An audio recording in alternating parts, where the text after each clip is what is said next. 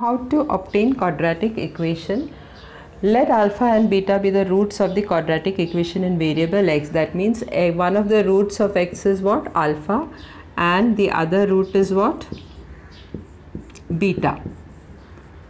Take this alpha on this side. So what you'll get? x minus alpha is equal to 0 or x minus beta is equal to 0 therefore that means it was x minus alpha into x minus beta is equal to 0.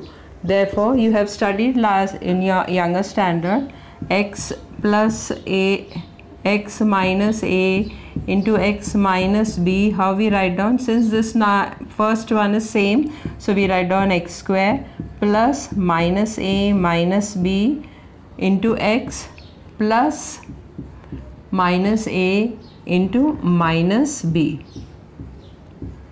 so x square minus will come outside minus a plus b into x.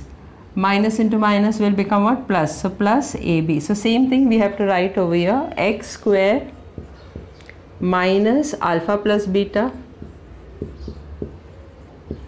into x plus ab that is alpha into beta.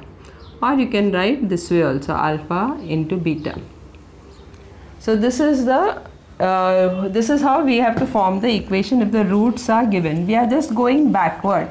In the uh, factorization we used to start from here then we used to break up and find out this factor then we used to put the values of x. So we are doing the same thing but upside down. That's all. So that means what how if alpha and beta is given how will you form the equation? So equation will be what x square minus sum of the roots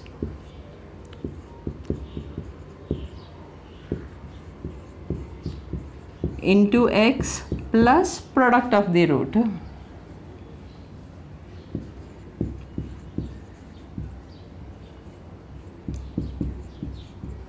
of the roots is equal to 0. So if alpha and beta is given you can form an equation with the help of the roots. So the equation will be what x square minus sum of the root that is alpha plus beta into x plus product of the root that is alpha into beta is equal to 0. Now the same thing is given in this activity on page number 48.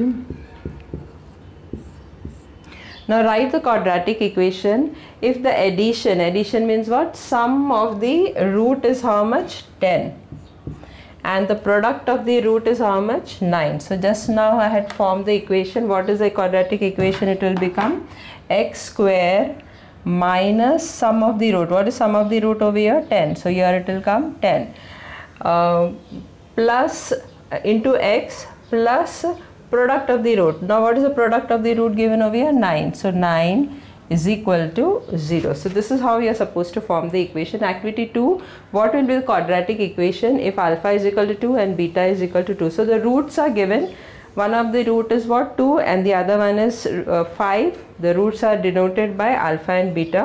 So it can be written as x square minus alpha plus beta plus alpha into beta.